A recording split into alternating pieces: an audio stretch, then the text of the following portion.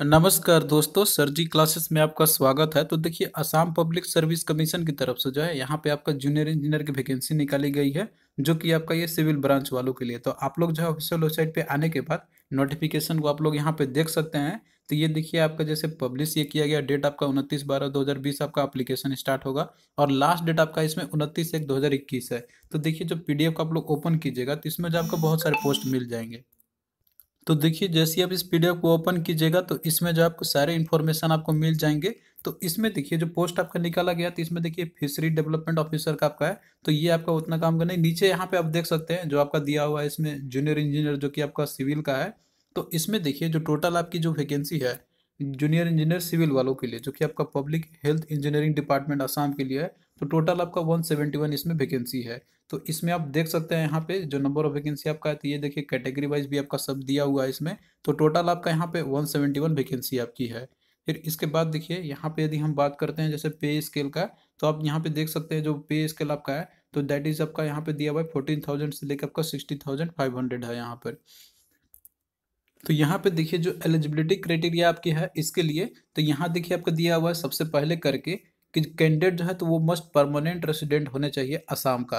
तो इसके लिए जो है आपको यहाँ पे देखिए प्रोड्यूस करना होगा आपको पीआरसी जो कि इशूड किया था है असम फॉर एजुकेशनल पर्पस के लिए जो प्रूफ ऑफ़ रेसिडेंसी के लिए, या तो फिर जो है आपका कैंडिडेट मतलब जो है आपको प्रोड्यूस करना होगा register certificate of employ exchange जो कि स्टेट ऑफ़ असम के अंदर में आपका आता है यहाँ पे तो ये जो है आपको यहाँ पे जैसे सेल्फ अटेस्ट करके आपको देना होगा, इससे रिलेटेड जो भी सपोर्टिंग डॉक्यूमेंट्स होंगे। तो ये तो आपका एक हो गया मेन एलिजिबिलिटी क्राइटेरिया और वहीं पे देखिए अगला आपका इसमें दैट इज़ एजुकेशन क्वालिफिकेशन है तो इसके लिए मांगे आपका यहाँ पे three years in diploma course आपका होना चाहिए, इन सिविल इंजीनियरिंग कोई भी यूनिवर्सिटी से आपका होना चाहिए रिकॉग्नाइज किया गया आई के द्वारा। और आपको जो है इससे रिलेटेड अटैच करने होंगे। आपको यहाँ पे देखिए डॉक्यूमेंट भी आपको अटैच करने होंगे सपोर्टिंग डॉक्यूमेंट जो कि आपका इसके लिए है डिप्लोमा के लिए है। और वहीं पे देखिए यहाँ पे एज लिमिट के यदि हम बात करते हैं। तो देखिए यहाँ पे दिया आपका कि कैंडिडेट जो है एटीन ईयर से कम होने चाहिए और उसके बाद मतलब कि लेस देन कम नहीं होना चाहिए। मतलब एटीन ईयर आपका मिनिमम है और more than thirty eight years है।